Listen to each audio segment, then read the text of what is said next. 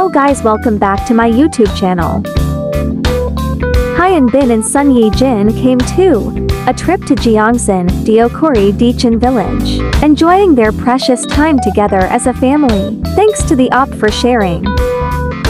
They do love the outdoors and I'm so happy they get to enjoy some family time with pure air and privacy. Nature lovers Binjin. Binjin family summer breaks just starting I hope they enjoyed it with an extraordinary day with their baby Alkong. There are moments in life that seem small and insignificant, but they are often the ones that bring us joy. One such moment can be as simple as enjoying nature with your beloved. Meanwhile, we always know Hyun Bin is D1 who initiate a hug tap to Sage. He's quite happy at D's very moment, Inspired of love never you can see him feeling D's way, true life feels D love. I love to see your thoughts about this video please comment down below thank you for watching guys.